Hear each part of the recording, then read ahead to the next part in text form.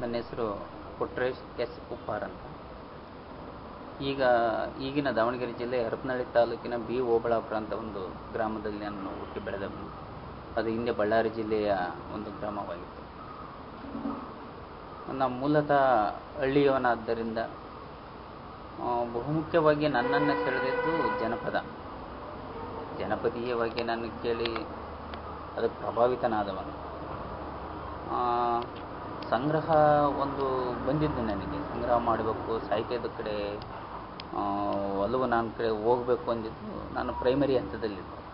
ನಂತರ ಬೆಳೀತಾ ಬೆಳೀತಾ ಹೈಸ್ಕೂಲಿಗೆ ಬಂದು ಹೈಸ್ಕೂಲಲ್ಲೆಲ್ಲ ನಮ್ಮ ಕಾಲೇಜ್ ಡೇಗಳಿಗೆ ಇದು ಸ್ಕೂಲ್ ಡೇಗಳಿಗೆಲ್ಲ ಒಳ್ಳೊಳ್ಳೆ ಸಾಹಿತಿಗಳನ್ನ ಕರೆಸ್ತಾ ಇದ್ದರು ಅವ್ರು ಮಾಡ್ತಕ್ಕಂಥ ಭಾಷಣ ಇರ್ಬೋದು, ಸಾಹಿತ್ಯಿಕವಾದಂಥ ವಿಚಾರಗಳಿರ್ಬೋದು ಅವೆಲ್ಲ ಪ್ರಭಾವ ಬೀರಿದ್ದು ನಂತರ ನಾನು ಹರಪನಹಳ್ಳಿಯಲ್ಲಿರ್ತಕ್ಕಂಥ S U G M college ಅಂತ ಇದೆ. ಅಲ್ಲಿ ನಾನು ಪಿ ಯು ಸಿ ಸೇರ್ಪಡೆ ಆ, ಅಲ್ಲಿ ಕಾಲೇಜಿನಲ್ಲಿ ಸಹ ಸಾಹಿತ್ಯಿಕ ಚಟುವಟಿಕೆಗಳು ಸಾಕಷ್ಟು ಮಾಡಿದರು. ಆ ಸಾಹಿತ್ಯಿಕ ಚಟುವಟಿಕೆಗಳು ಎಷ್ಟು ಪ್ರ ನಾವು ಹೈಸ್ಕೂಲಲ್ಲಿ ಸಣ್ಣ ಸಣ್ಣ ಚುಟುಕುಗಳನ್ನೇ ಕವಿತೆಗಳನ್ನ ಬರೀತಾ ಇದ್ದಿದ್ದು.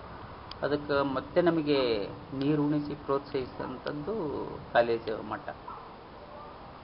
ನಂತರ ಅದೇ ರೀತಿ ಪಿ ಯು ಸಿ ಆದಮೇಲೆ ನಾವು ಅನಿವಾರ್ಯನೋ ಏನೋ ನಮ್ಮ ಸ್ನೇಹಿತರ ಒತ್ತಾಯದಿಂದ ಯಾವುದೋ ಒಂದು ಪತ್ರಿಕೆ ಸೇರ್ಕೊಂಡ್ವಿ ಅವಾಗ ನಮಗೆ ಪತ್ರಿಕಾ ರಂಗದ ಸೇರ ಆದಮೇಲೆ ಬರವಣಿಗೆ, ಅಲ್ಲಿವರೆಗೆ ನಾವು ಬರೀ ಕವಿತೆಯನ್ನು ಬರೀತಾ ಇದ್ದಂತನೂ, ಬರವಣಿಗೆ ಅತ್ತ ಆರ್ಟಿಕಲ್ಗಳನ್ನೇ ಮಾಡ್ತಕ್ಕಂಥದ್ದು, ಫಂಕ್ಷನ್ಗಳಿಗೆ ಹೋಗಿ ನಾವು ರಿಪೋರ್ಟ್ ಮಾಡ್ತಕ್ಕಂಥದ್ದು, ಅದು ಒಂದು ಹವ್ಯಾಸವಾಗಿ ಬೆಳೀತು. ಅದು ಮುಂದೆ ಬರ್ತಾ ಬರ್ತಾ ಲೇಖನಗಳ ಬರೆಯುವಂಥ ಒಂದು ಪ್ರಕ್ರಿಯೆ ಮಾರ್ಪಟ್ಟು ನಂತರ ಅವನೇ ಮುಂದುವರಿಸ್ತಾ ಬಂದು ಮತ್ತೆ ನಾ ಶಿಕ್ಷಕ ತರಬೇತಿ ಸೇರಿಕೊಂಡೆ ಕಾನಮಡದಲ್ಲಿ.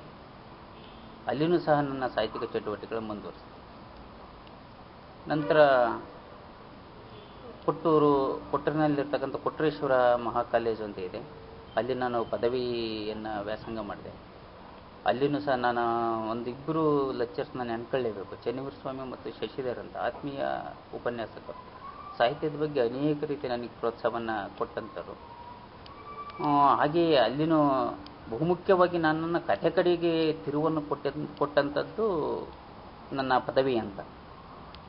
ಸಾಮಾನ್ಯ ನಾವು ಕೊಟ್ಟೂರನ ತಡಲಿ ಒಬ್ಬ ನಮ್ಮ ಕರ್ನಾಟಕದ ಪ್ರಖ್ಯಾತ ಕವಿ ನೆನಪಿ ಬರ್ತಾರೆ, ಕುಮ್ಮುವಿ ಅಂತ.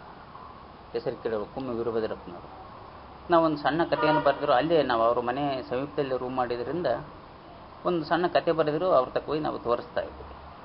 ಅವರು ನಮಗೆ ಮಾರ್ಗದರ್ಶನವನ್ನು ಅದಾಗ ಅದಾಗಲೇ ನಾವು ಪಿ ಯು ಸಿಯಲ್ಲಿ ಅವ್ರದ್ದು ದೇವರಾಯಣ ಅಂತ ಒಂದು ಕಥೆಯನ್ನು ಓದಿ ಬಹಳ ಪ್ರಭಾವಿತರಾಗಿದ್ದೀವಿ ಆದ್ದರಿಂದ ನಮಗೆ ಕಥಾಲೋಕಕ್ಕೆ ಹೇಳ್ಕೊಂಡೋಯ್ತು ನಂತರ ನಾನು ಡಿಗ್ರಿ ಫೈನಲ್ ಇಯರ್ ಇದ್ದಾಗಲೇ ಸಿ ಇ ಟಿ ಮೂಲಕ ನೇರವಾಗಿ ಎರಡು ಸಾವಿರದ ನಾಲ್ಕರಲ್ಲಿ ಹಾಸನ ಜಿಲ್ಲೆ ಆಲೂರು ತಾಲೂಕಿನ ತಾಳೂರು ಗ್ರಾಮಕ್ಕೆ ನಾನು ಶಿಕ್ಷಕನಾಗಿ ಬಂದೆ.